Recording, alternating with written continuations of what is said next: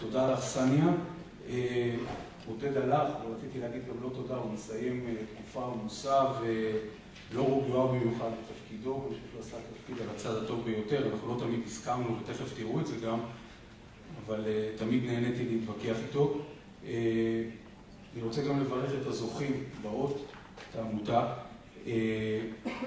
אני לא גדלתי בתחום של המשפט המסחרי, אלא בתחום של המשפט המנהלי והחוקתי, והייתי עד לתרומה הייחודית והגדולה מאוד של העמותות, של ה-NGO, מה שאנחנו קוראים, להתפתחות של ארגוני זכויות האדם בישראל ולעקרונות של שוויון, ושעברתי תחום, החסר הזה בלט מאוד, ואני רואה שבתקופה האחרונה קמות עוד ועוד עמותות שנכנסות לוואקום הזה שהיה, ואני חושב שיש מקום להתפתחות, וזה דווקא סימן טוב, בגלל העובדה שהמילוי של הוואקום הזה בא לידי ביטוי בהענקת האות, ואני מקווה שיקומו עוד, ושהעמותה תעשה את התפקיד של הצד הטוב ביותר.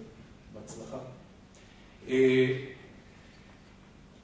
אני לא בטוח שהזמינו אותי ואת עודד בכוונה שנתעמת פה, אני גם לא יודע אם זה נכון שנתעמת פה, אנחנו מתעמתים מספיק מאחורי הקלעים, אבל אני אדבר על משהו אחר מהכותרת שכתובה בהרצאה שלי, כי עבר הרבה זמן מאז שבני ביקש ממני, ואני רוצה לקרוא להרצאה שלי, גם להתחבר להרצאה של עודד, הרגולציה של אקטיביזם מוסדי בין תקווה להתפכחות.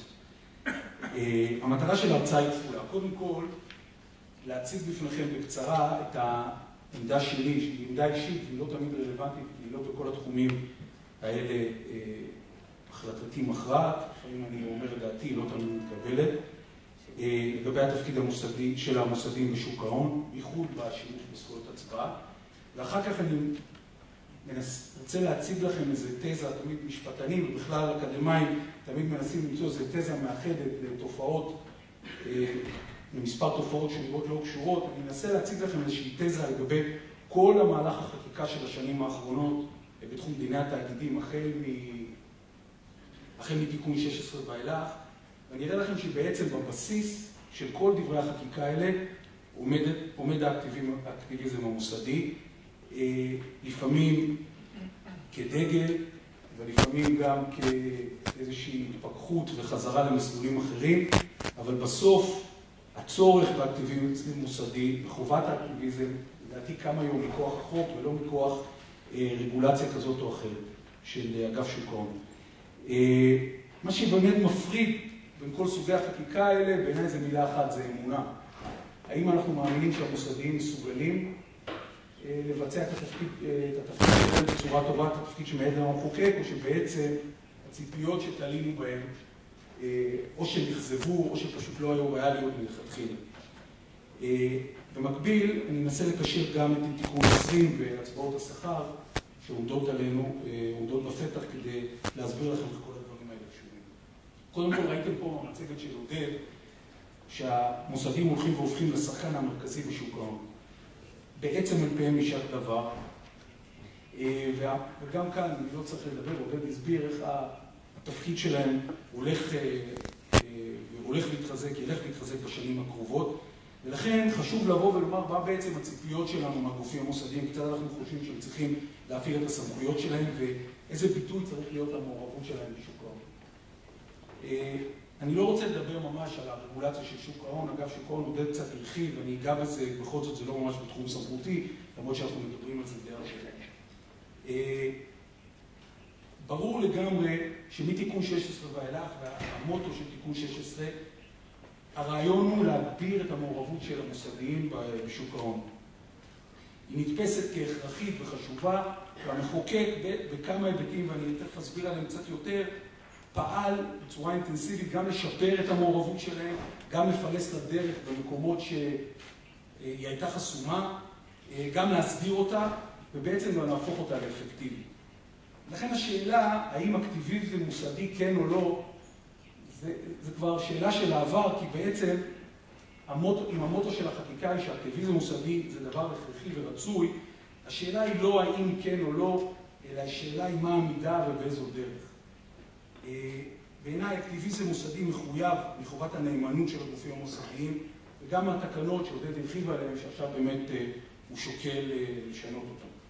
לכן, בעצם, כשאנחנו מקבלים מתוך נקודת מוצא שצריך אקטיביזם מוסדי, השאלה היא מהם האינטרסים שאנחנו רוצים להגן עליהם. מבחינתי, הדבר הראשון זה להבטיח ששיקול הדעת שלהם יהיה נקי. כשהם באים להצבעה הם יהיו נקיים. יהיו נקיים במובן הזה שהם יהיו מנוטרלים מניגודי אינטרסים, גם, גם אישיים וגם מוסדיים. כי בעצם, אם מסתכלים על זה בפרספקטיבה קצת יותר רחבה, אנחנו רוצים שהמוסדים ייכנסו לתחום ההצבעות וייצגו את בעלי מניות המיעוט כמשקל נגד לבעיית הנציג מול בעל השליטה. והדבר האחרון שאנחנו רוצים זה להחליף בעיית נציג אחד ובעיית נציג שנייה. שאלה שנייה היא, היא מה בעצם הם שוקלים, מה הם בודקים. אה, עודד דיבר על גישה אחת, שבעיניי גישה צרה מדי, שבעצם מה שמעניין באמת זה התשואה. השאלה היחידה בהפעלת זכויות ההצבעה, או השאלה העיקרית, כמו שעודד קרא לה, היא שאלה של עלות תועלת פרטנית בהיבט הנקודתי של ההצבעה הספציפית. זה הקריטריון היחידי לאקטיביזם. אם ממשל תאגידי זה אינדיקציה באותה חברה לתשואה יותר גבוהה למשקיעים, או אם אה, שיעור ההחזקות כל כך נמוך שלא יהיה שום השפעה על תיק הנכסים, אז בעצם לא צריך, לא שווה להשקיע זמן ומאמץ אה, בהגעה להצבעה. אני חושב שהגישה הזאת צרה מדי משני טעמים. גם טעם פנימי וגם טעם חיצוני. מבחינה פנימית, גישה צרה, גישה צרה כזאת היא לא יעילה. כמו שעודד הסביר, הפיזור של הגופים המוסדיים הוא מאוד מאוד רחב, ואם אנחנו נבדוק רק בצורה פרטנית, האם באותה נקודת זמן זה משפיע על תיק הנכסים של, של אותו גוף מוסדי, כן או לא, ועם השפעה זניחה או לא, בעצם אנחנו מעיינים את כל המעורבות של הגופים המוסדיים בשוק ההון, כי תמיד הפיזור יהיה רחב. ולכן ההשפעה על התשואה היא בעיניי לא מבחן אה, נכון. אה, טעם נוסף זה, אומנם לא נהוג לדבר על זה בעסקים, אבל דווקא שמעתי את התורם מדבר ומרחיב על זה, אז לכן אני לא חושב שזו בושה לומר שיש גם טעם ערכי במעורבות של המוסדים בשוק ההון. הגופים המוסדיים בעיניי הם לא משקיע רגיל. הם משקיעים כספים של אחרים, הם מבחינתי שליחי הציבור ונאמנים של הציבור, ולכן החובות שלהם הן לא חובות נקודתיות רק לתיק ההשקעות הספציפי. גם צריך לזכור, כמו שעודד הראה, הם יושבים על מסד של רגולציה שבעצם מעודדת השקעה בגופים האלה. גם לפעמים חובה וגם לפעמים הטבות מס מאוד משמעותיות שמעודדים את הציבור ללכת ולהשקיע בגופים המוסדיים. ולכן, לצד הזכויות האלה, בעיניי יש לגופים המוסדיים אחריות רחבה והרבה. הם לא יכולים להסתגר בדלת אמותיהם ולדבר רק על שיקולי ההשקעה הנקודתיים.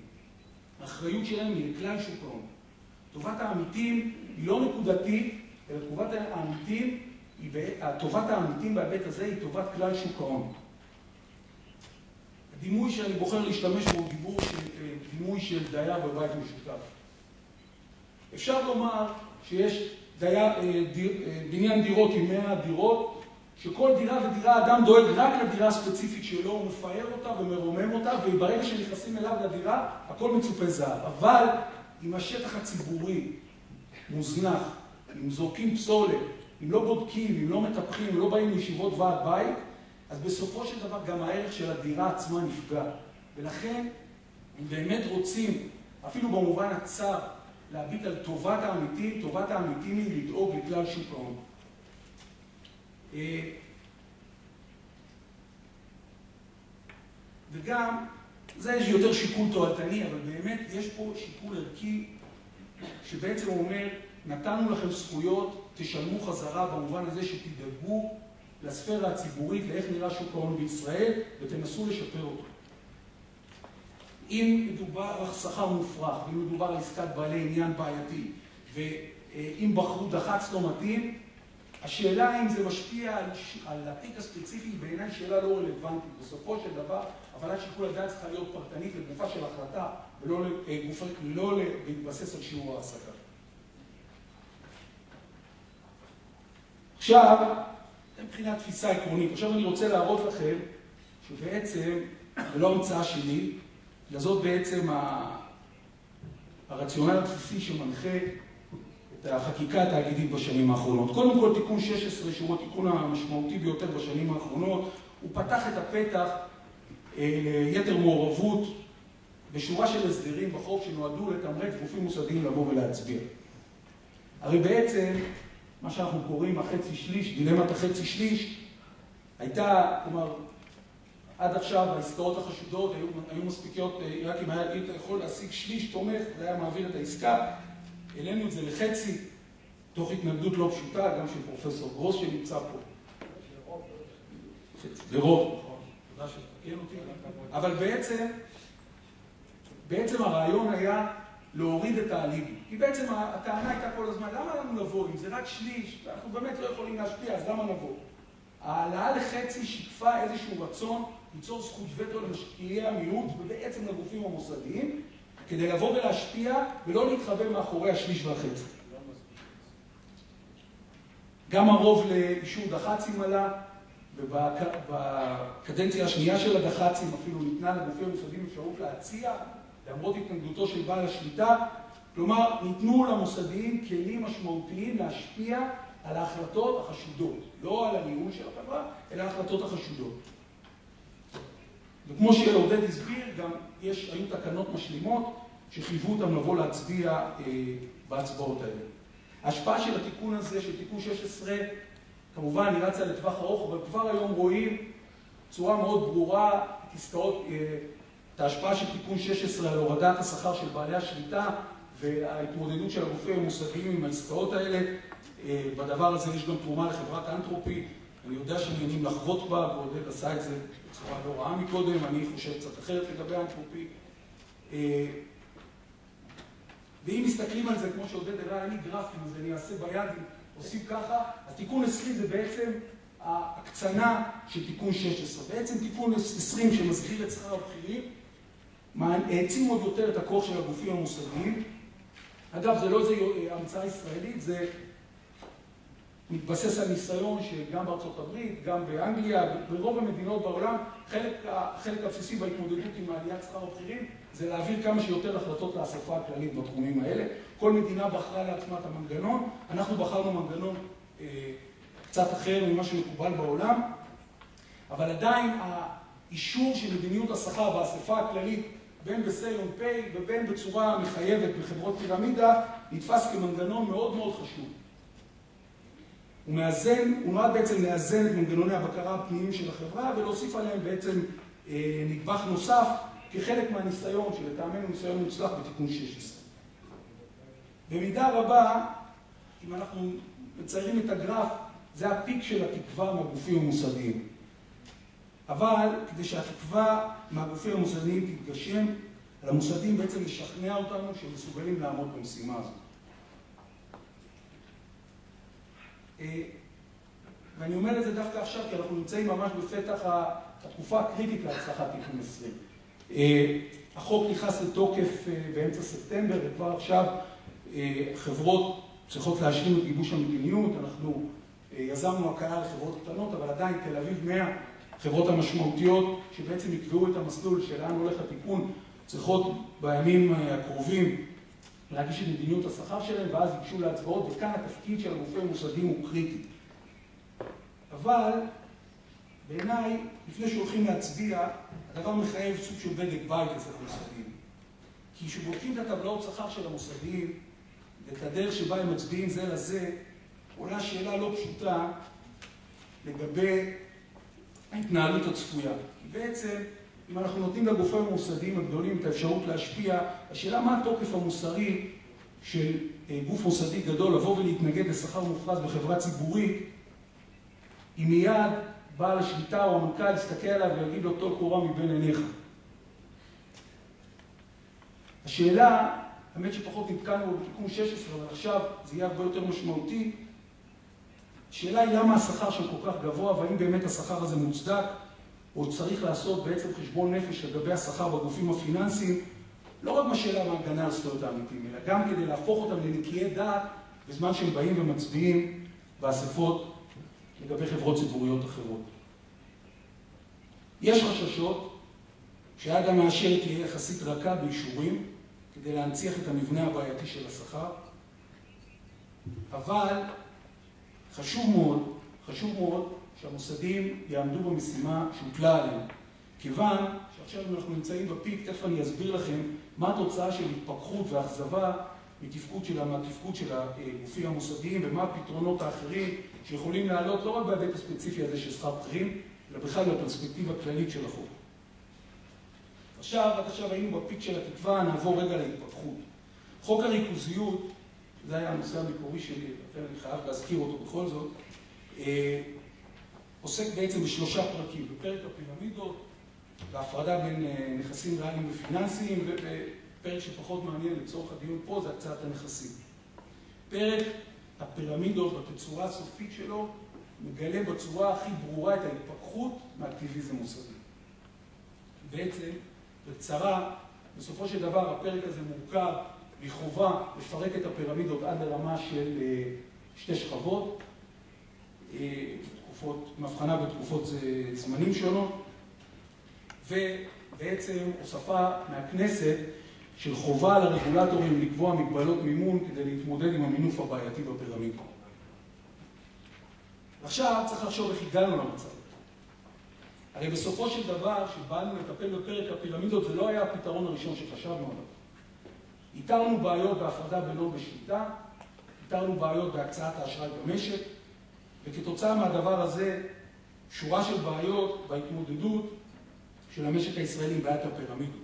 העובדה שבעל השליטה היה יכול לבחור איפה לשים את העסקה לפי שיעורי ההחזקה שלו, ובעצם להעביר את הסיכון לבעלי המניות מן הציבור, תופעה שנקראת tunneling, מנהור של העלאת, אה, אה, הטבות במעלה הפירמידה לטובת בעל השליטה, מינוי דירקטורים לא מתאימים, התרחבות לא יעילה, השקעה לא יעילה, רכישות ממונפות, פגיעה בתחרות, הקצאה שלא, לא יעילה של אשראי שהולך אל הפירמידות. כל הדברים האלה היו הבעיות, היסוד שאיתן ניסתה להתמודד הוועדה. אבל הפתרון הראשון שלנו היה פתרון בית ספר. מה ידענו לעשות עד אז? ידענו לעשות ממשל תאגידי. אז אם הציגו לנו בעיה, הלכנו לממשל תאגידי. ובעצם השלב הראשון של ועדת הריכוזיות, מה שנקרא דוח הביניים, הציב שורה של אה, פתרונות בתחום הממשל התאגידי כדי להתמודד עם בעיית ניגוד העניינים הזאת.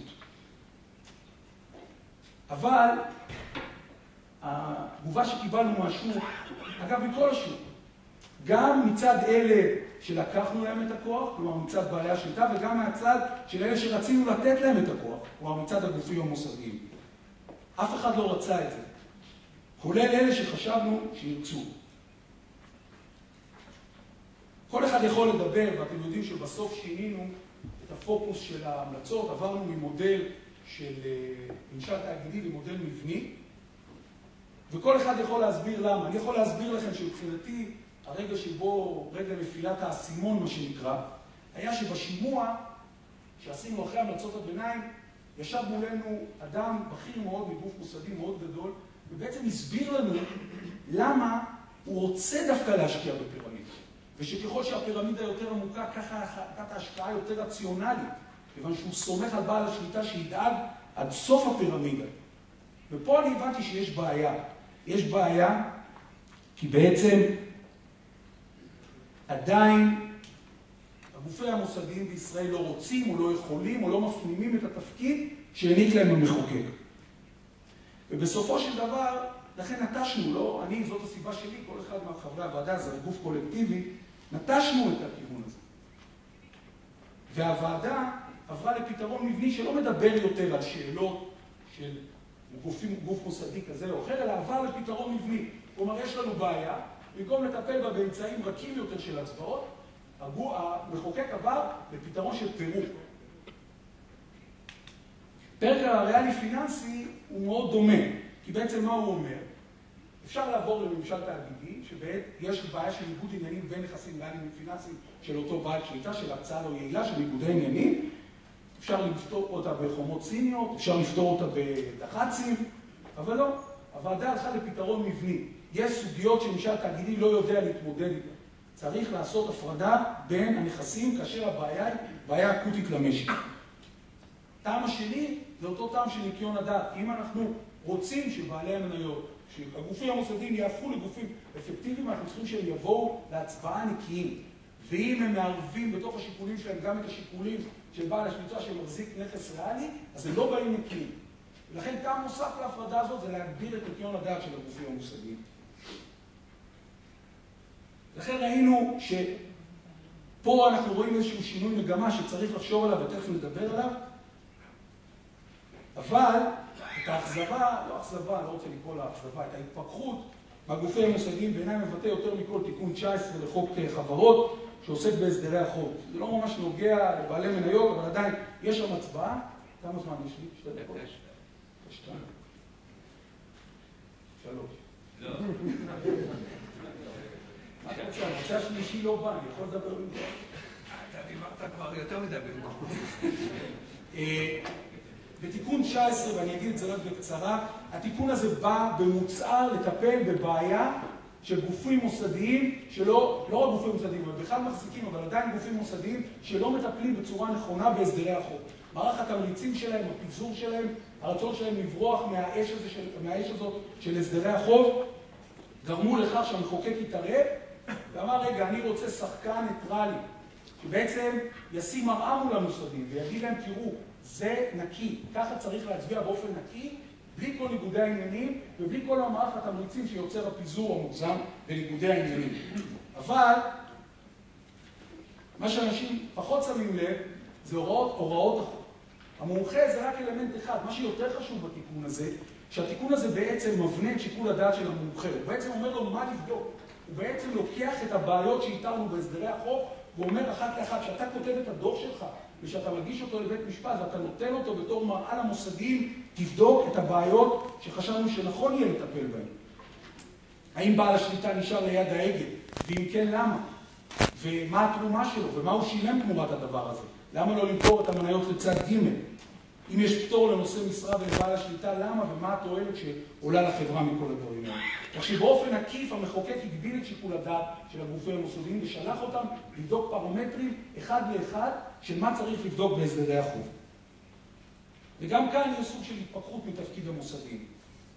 ולכן אם מסתכלים על זה בפרספקטיבה יותר רחבה, התפכחות מהתפקיד של המוסדיים כמגינים על אינטרס הציבור, מובילה לפתרונות שהם יותר דרמטיים ויותר דרקוניים מבחינת החקיקה. במקום להגיד בואו נפתור את זה באמצעים של השוק, באמצעים פנימיים, המחוקק הולך ועובר למנגנונים של פתרונות מבניים, שמגבילים את שיקול הדעת, ובעצם אומרים, רגע, אם זה לא עובד, אז נלך לפתרונות יותר דרקוניים. השינוי הזה עדיין לא מופנם בשוק ההון ולא מופנם עדיין אה, בקרב הגופים המוסדיים, אבל חייבים להבין שמשהו השתנה, תקראו לזה מחאה ציבורית, תקראו לזה פופוליזם, תקראו לזה איך שאתם רוצים. אני לא, לא שותף לעליהום על הפופוליזם, יש הרבה אנשים שמעורבים ורוצים להשפיע ובעיניי זה מהלך ראוי. אבל יש איזושהי תחושה בכנסת, כפי שמשתקפת גם בציבור, שמה שהיה לא, לא יהיה. במובן הזה שכללי המשחק השתנו. ואם השוק לא יתעשת ויחזור למשטר פנימי של התנהלות, הפתרונות שילכו ויתבססו הם פתרונות מבניים, שבטווח הארוך בעיניי הם פתרונות אה, פחות טובים. זהו, אני מפסיק. תודה.